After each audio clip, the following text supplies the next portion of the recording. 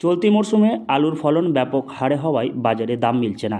চরম সমস্যায় পড়েছেন মালদহের আলু চাষিদের একাংশ। অধিকাংশ আলু চাষি ঋণ নিয়ে আলু চাষ করেছিলেন। চলতি মরশুমে আবহাওয়া ভালো থাকায় আলুর ফলন ভালো হওয়ায় সম্ভাবনা তৈরি হয়েছিল। চড়া দামে সার ও বীজ কিনে আলু চাষ করেছিলেন কৃষকেরা।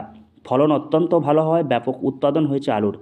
এমন পরিস্থিতিতে আলুর দাম না পেয়ে মাথায় হাত কৃষকদের। এমনকি মালদহ জেলায় পর্যাপ্ত হিমঘর না থাকায় আলু মজুত রাখতেও হিমশিম খেতে হচ্ছে কৃষকদের।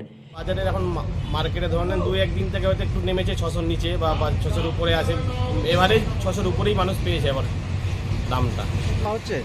কিছু বলতে যারা নিজস্ব জমিতে চাষ করেছে মোটামুটি মুনাফা বলতে এক দু হাজার। নিজের খাটনি বাদ দিয়ে মোটামুটি এক দু হাজার লাভ পেয়েছে। তার বেশি লাভ করতে পারবে না। বিঘাতে? হ্যাঁ বিঘাতে ধরে না জেলার বাজার ও হাটগুলিতে পাইকারি মূল্যে আলুর দাম একেবারেই তলানিতে। কৃষকেরা বাজারে পাঁচশো টাকা কুইন্টাল ধরে আলু বিক্রি করছেন। আলুর দাম না মেলায় সরকারি সহায়ক মূল্যে আলু কেনার দাবি তুলেছেন কৃষকেরা। বর্তমানে সরকারি সহায়ক মূল্যে ধান কেনা হলেও অন্যান্য ফসল কেনা হয় না। তাই এবার সরকারি সহায়ক মূল্যে আলু কেনার দাবি তুলেছেন কৃষকেরা। মালদহ জেলা কৃষি দপ্তর সূত্রে জানা গিয়েছে, জেলার গাজল ও পুরাতন মালদহ ব্লকে সবচেয়ে বেশি আলু চাষ হয়। বামনগোলা, হবিবপুর, রতুয়া সহ অন্যান্য ব্লকে কিছু পরিমাণে আলু চাষ করে থাকেন কৃষকেরা।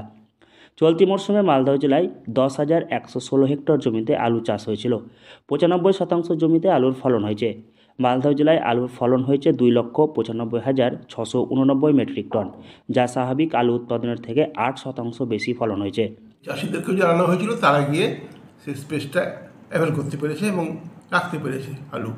এবং যেহেতু এবার প্রোডাকশনটা খুব বেশি হয়ে গেছে, সেহেতু হয়তো একটু প্রথম দিকে চাষির একটু অসুবিধা হচ্ছিল, কিন্তু পরবর্তীকালে রাজ্য সরকার একটা সহায়ক মূল্যের মধ্যেও কেনার একটা চেষ্টা চালিয়ে যাচ্ছেন এবং আমাদেরকেও বলা আছে যে কোনো চাষি যদি এই ধরনের অসুবিধার মধ্যে পড়ে, তাহলে যেন তাকে হেল্প করা হয় বা অন্যরকম ব্যবস্থা করা হয় এবং আমরা চেষ্টা করছি যে বিভিন্ন যে এফপিওগুলো আমাদের এবার তৈরি হয়েছে ফার্মার্স প্রডিউসার অর্গানাইজেশন তাদের মাধ্যমে সামনের বছর আমরা আরও সুশৃঙ্খলভাবে এই জিনিসটাকে নিয়ে যেতে পারব বলে আশা করছি।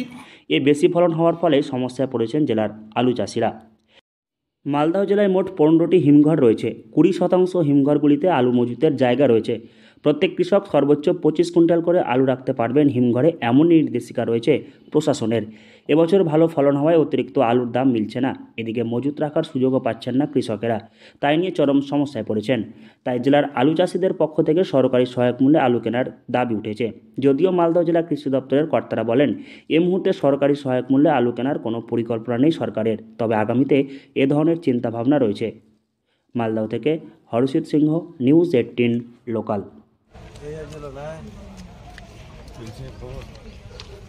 হ্যাঁ